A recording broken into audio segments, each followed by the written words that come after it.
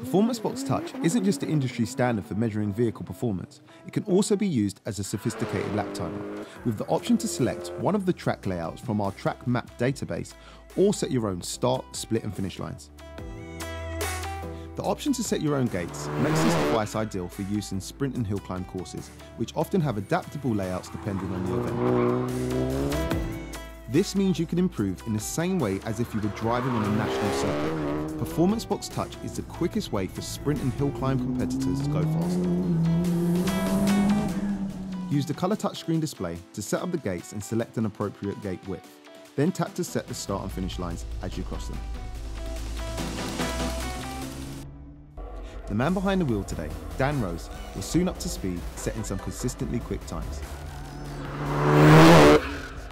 Using the bright Delta Speed LEDs and the Delta Time display to compare his current lap with his previous best, he was soon finding extra temps around the track.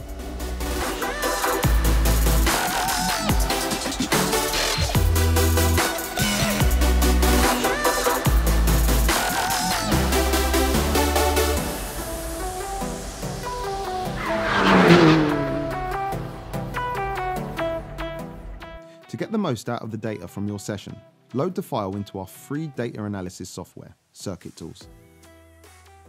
Designed by racing drivers for racing drivers, the software gives you all the crucial information you need to help to improve your lap times. Here we see two of Dan's lap times being compared. By carrying more entry speed into the final hairpin bend and then picking up more speed from the apex to exit, Dan saved 3 temps from his lap time, a significant saving on a course this size. To find out more about the Performance Box Touch, go to vboxmotorsport.co.uk forward slash pbtouch.